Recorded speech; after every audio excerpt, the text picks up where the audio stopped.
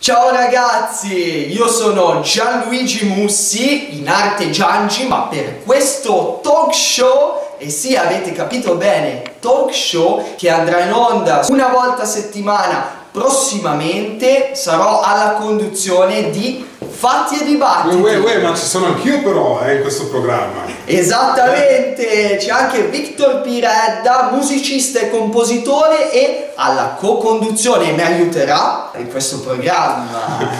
La speranza di che le mie note vi regaleranno molta emozione, ecco.